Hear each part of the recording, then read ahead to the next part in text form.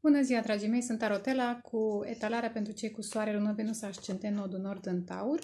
O etalare, vedem cât de lungă, cât de scurtă, prima parte și va fi și partea a doua despre relații, despre voi și cineva. Vedem cine apare. Ideea este că această etalare este generală. Posibil să se raporteze și la viața voastră personală și viața profesională. Rămâne să vedem cum vin mesajele. În timp ce am amestecat aceste de cărți cu animale, am văzut la un moment dat unicornul și în paralel mm, tot timpul îmi scapă liliacul. Unicornul este guvernat de semnul alchimic al eterului și în aceste de cărți sunt doar șapte cărți din acest semn alchimic. Pe când liliacul este guvernat de semnul alchimic al aerului.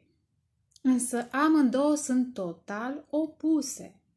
Liliacul este o energie extrem de negativă, evident mentală, probabil că ori aveți de-a face cu cineva care vorbește într-un mod necorespunzător unei persoane care se respectă. Sunt uh, oameni, nu contează studiile, care vorbesc uh, într-un mod negativ, care dărâmă, care denigrează, care deconstruiesc, care jignesc, care nu susțin. Și asta este energia negativă a liliacului. Pentru că și mintea lor este negativă, pentru că mintea lor nu se poate transforma. Interesant este că în aceste de cărți, acest, această carte, într-un fel sau altul, Uh,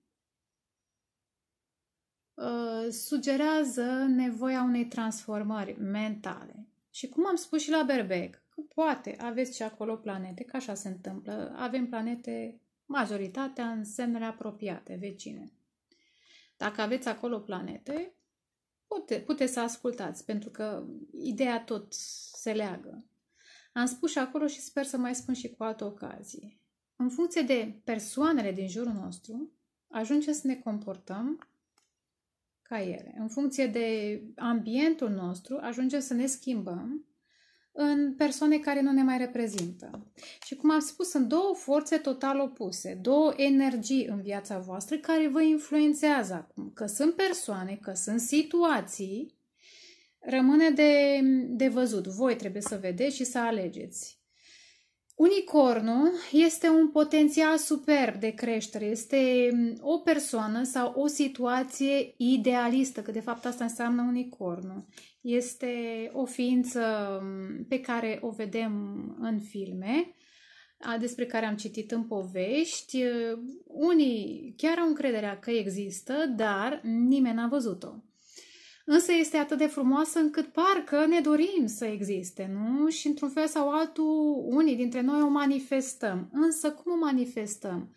O manifestăm prin uh, felul în care încă sperăm că în viață va fi bine. Posibil există cineva în viața voastră, o persoană visătoare, spirituală, și să nu uităm că, sau să nu uit, să vă transmit că acest unicorn are al treilea ochi deschis, poate să vadă, poate să anticipeze și ce înseamnă speranța, să vezi în viitor că se poate și mai bine într-un fel sau altul. Ceea ce liliacul nu poate. Liliacul zboară, da, din gând în gând, din cuvânt în cuvânt, din negativ în mai negativ și mai negativ și mai negativ. Zboară în întuneric. Și când e lumină, că lumina reprezintă divinitatea, foarte interesant cum vine mesajul tocmai la voi, când e lumină, acest liliac se ascunde. Acest liliac nu mai are forță în prezența energiei divine. Și dacă sunt două persoane care vă influențează, frumos ar fi să alegeți ce vă inspiră, ce vă susține în creșterea voastră spirituală și nu în decăderea voastră. Că există două forțe. Repet, pot să fie două persoane, două situații sau pur și simplu două entități. Și atunci trebuie să alegeți. Care este calea voastră? Și de ce zic că trebuie să alegeți? Pentru că în seria aceasta de cărți a apărut Talk to Your Angels. Vorbiți cu îngerii voștri. Evident, în acest context, că tocmai uh, lansai uh, mesajul, frumos ar fi să vorbiți cu unicornul sau cu tot ce înseamnă energia aceasta visătoare și benefică. Benefică. Pentru că sunt convinsă că dacă cineva într-adevăr ar vedea un unicorn, ar fi un mesaj de la divinitate că un miracol li se întâmplă în viață.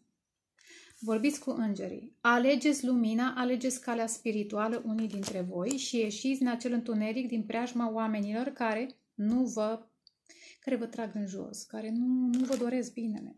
Că așa sunt. Și, dragii mei, să știți că sunt oameni, sunt, pot să fie partenerii noștri de viață, ai voștri, da? care dintr-un soi de invidie mm, sau codependență sau nevoia de a avea control, nu ne doresc binele. Și spun din experiență.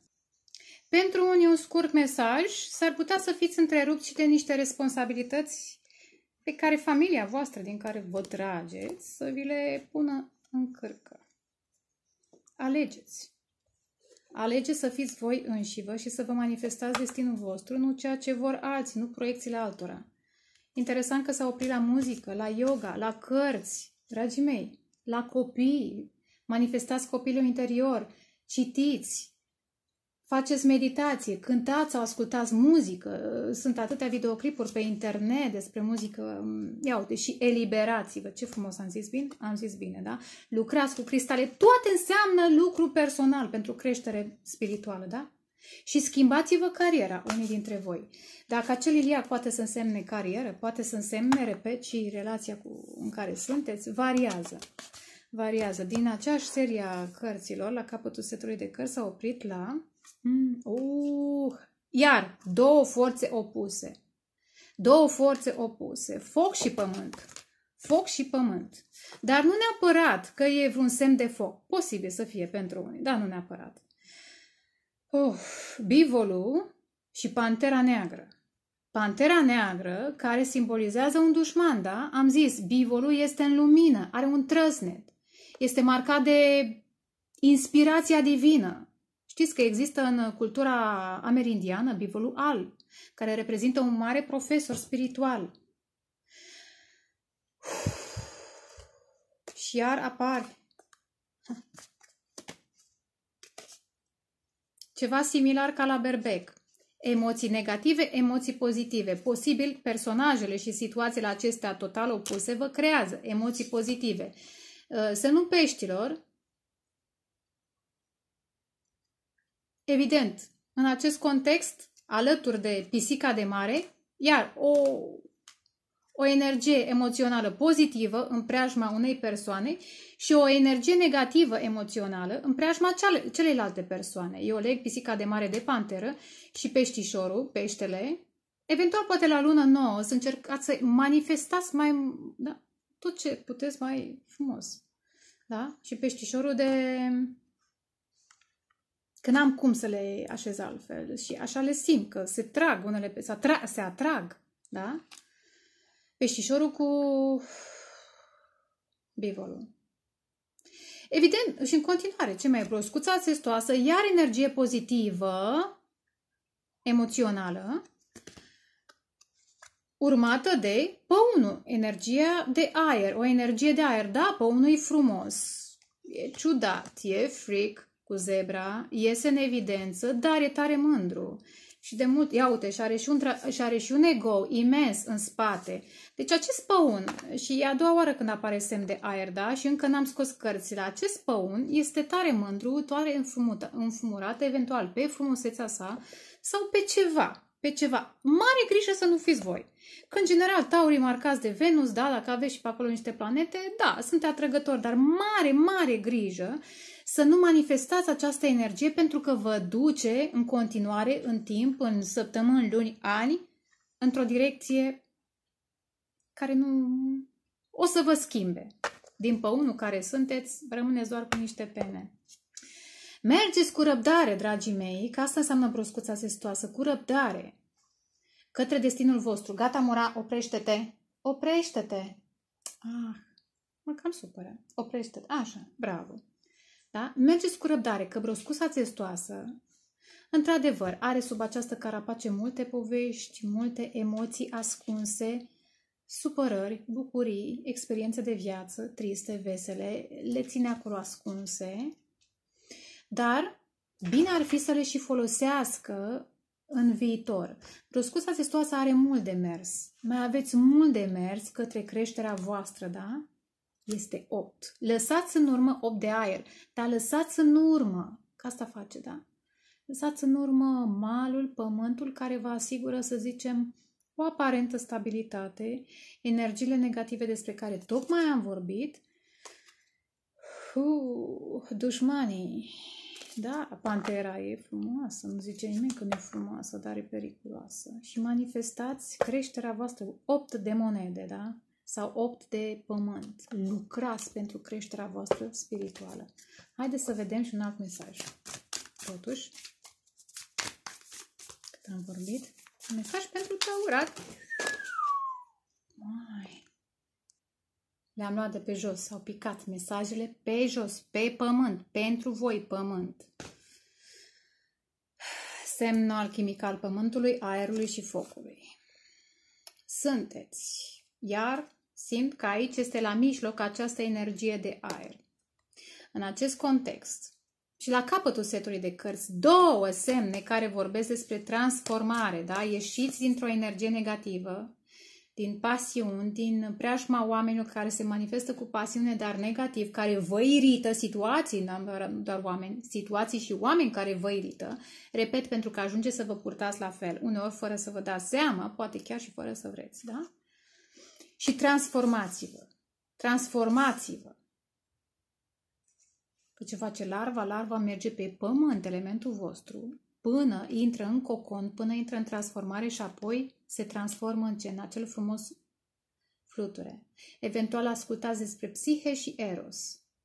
Că există foc, există pasiune pentru cineva, dar această pasiune trebuie să se manifeste într-o anumită direcție. Altfel deveniți uh, prea marcați de această latură da, a voastră și, repet, în timp nu o să nu o să fie bine, mai ales pentru cei care încă au o vârstă și încă se pot transforma. La capătul setului de cărți am zis două cărți care reprezintă transformarea, fluturele și Phoenix, dragii mei. Phoenix care ce reprezintă scorpionii și Phoenix am zis că e o chestiune de sexualitate, prima ceacră. Prima ceacră care ține, ceacră care, în fine, da, treceți peste asta că se mai întâmplă. Uh, și prima și a doua țin de sexualitate, dar uh, prima, la prima mai avem uh, nevoia de um, stabilitate. Și evident, ca semne de pământ aveți nevoie de stabilitate, vă doriți bani, vă doriți uh, să aveți control într-o formă sau alta, cum manifesta sub formă financiară, cum manifesta sub formă sexuală, uh, voi știți mai bine, nu stau să, încă nu investighez chiar într-atât. Dar transformați-vă, ridicați-vă, ridicați-vă din cenușă și trebuie să, să vă ridicați. Posibil, în preajma voastră iar apare un semn de aer care înțeapă. Dar, pentru că e vorba de alchimie și transformare, ce înseamnă alchimie? Nu vorbesc...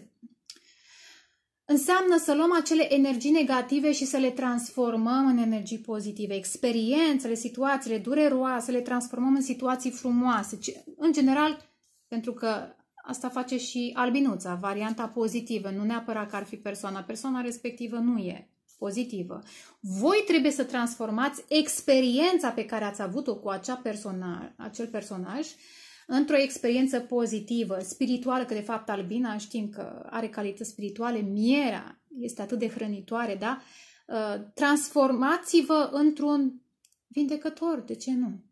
De ce nu? Dar evident că pentru asta trebuie să munciți, că asta face Albina, într-un colectiv, că Albina este, dar lucrează în grup, într-un colectiv care muncește la unison în aceeași direcție. Dacă aveți persoane care înțeapă și care vă stau în drum, evident că nu o să puteți ajunge să faceți așa ceva. Și, și, și, și, și, și pentru că este, ah, trebuie să mai pun și ochelarii.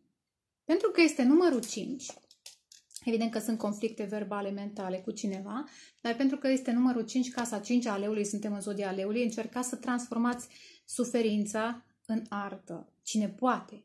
Cine poate. Și sunt multe, multe modalități da, de a exprima ați, ați văzut și mai devreme la oracole. A apărut uh, muzică, yoga, nu știu, doar pictură n apărut, dar puteți să pictați, să scrieți, să cântați, să compuneți, să faceți ceva. Sunt atâtea melodii triste care, într-un fel sau altul, ne alină, tocmai pentru că ne aduc aminte că am trăit experiențe similare, da? Și am trecut peste. Cum trecem prin artă, prin alchimie, prin transformare. Și în momentul în care faceți acest lucru, puteți să manifestați două energii foarte frumoase care acum stau așa. A, a, a. Pământ și foc. Poate sunteți marcați uh, nu doar de pământ, nu zic poate. Uh, poate că aveți planete în leu, în leu. Oh, posibil nu în uh, semn de foc, vreau să zic. Poate aveți planete în semne de foc sau aveți ascendent de în semne de foc și atunci trebuie să echilibrați ceva, niște energii. Însă, interesant este că amândouă în poziția lor normală, fiziologică și în varianta lor cea mai bună, reprezintă regele de monede, de pământ, o persoană care conduce un lider. Amândouă reprezintă lideri. Însă unul reprezintă un conducător profesor spiritual, altul reprezintă un uh, lider în comunitatea sa, evident marcat mai mult sau uh, concentrat mai mult pe latura sa materială, da? Poate că pute, exact uh, vă apropiați în momentul în care faceți această transformare și alchimie, vă, tra- vă transformați de unicorn, de ce văzuse mai devreme, de uh, bivol, de bivol, de acea energie opusă liliacului sau panterei, da? Care stă în preajma voastră și lucrând cu voi și alchimizându-vă, vă ridicați la rangul de rege de pământ. Și puteți fi stabil și să vă păstrați și libertatea, dar în preajma anumitor oameni. Dar nu o libertate de asta haotică, uraniană, este o libertate asumată.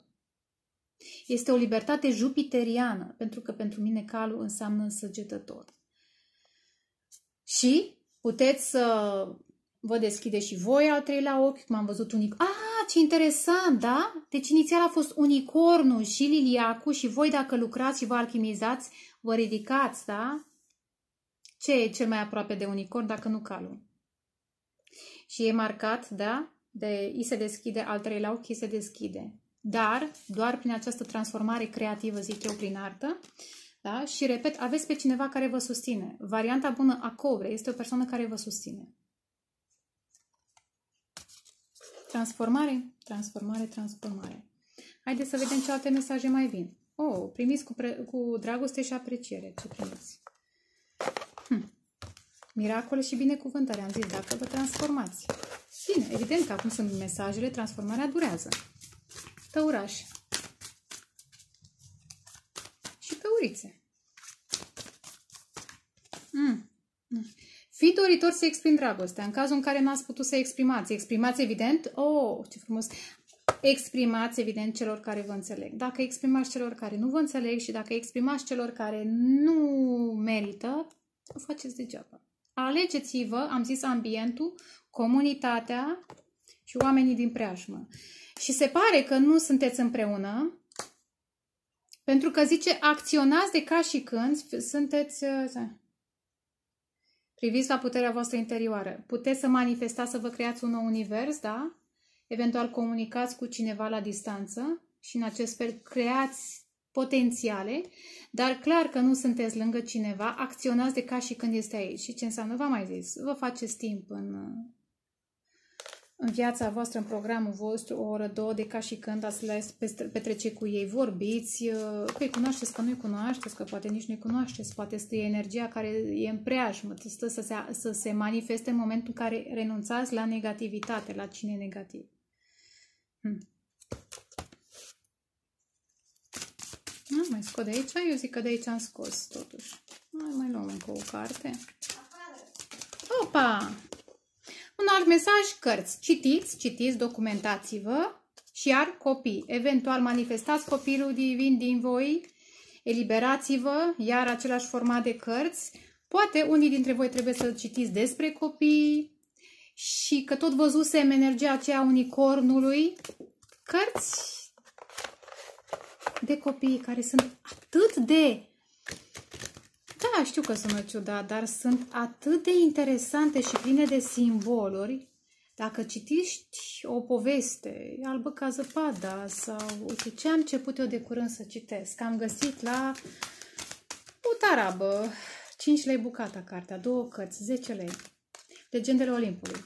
Despre care știam, evident, că dacă știu astrologie, știam despre legendele Olimpului și despre zei. Domne, dar atâtea înțelesuri văd acum cu ochii pe care i-am, cu experiența pe care o am, încât nu pot să exprim.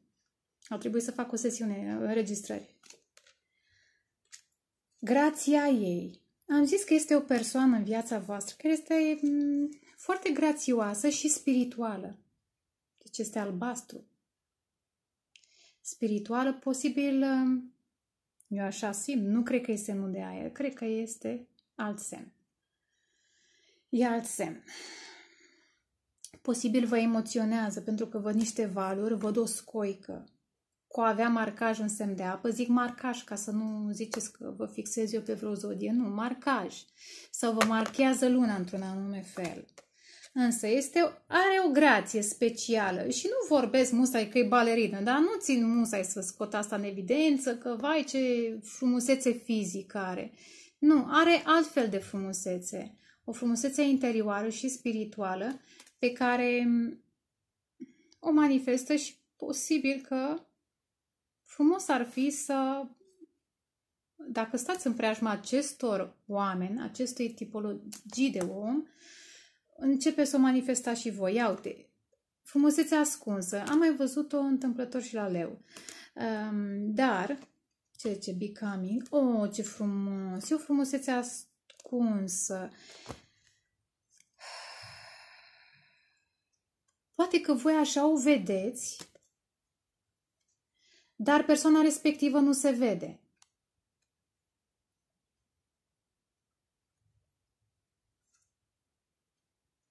Pe de altă parte, dacă această grație energetică, spirituală, încă nu o manifestați în viața voastră, Stând în preajma acestei persoane, scoateți din voi hidden beauty, da? din, din străfundurile voastre această frumusețe și o manifestați împreună, da? O manifestați împreună. Și deveniți, că asta înseamnă cartea devenirii, transformare, da? Ce am mai zis mai devreme? Am zis devenire, transformare, Phoenix, alchimie, ho-ho, iar se, se confirmă. Deveniți cuplu acesta special pe care, da, evident, toată lumea își dorește să trăiască o poveste de dragoste deosebită. Îndrăgostiții, deveniți îndrăgostiții pe care ar fi frumos să-i experimentați, îndrăgostiți. Urmați de intimitate. Și este o intimitate în spiritualitate. Sunt două personaje, 35 să vă spună ceva, 57 și 17, nu mai stau să calculez, uh, este o intimitate specială, da? energetică, spirituală, cum am zis mai devreme, spirituală și într-un fel sau altul se regăsește același vârtej și la îndrăgostiți. Da? Dar pentru a ajunge acolo, trebuie să scoateți din voi, din transformarea voastră adeneică din sângele ăsta, din structura voastră, să scoateți această frumusețe și, și nu mă refer la acea a păunului, a vanității, a frumuseții fizice, altfel de frumusețe. Și uite așa, intrați într-un într-o inimă de foc, într-un colectiv, da? Într-un colectiv. Aici sunt mai multe personaje. Intrați într-un colectiv de suflete care vă susțin. Hm, cam atât e prima parte. Hai să vedem partea a doua. Vă pup, pa, pa!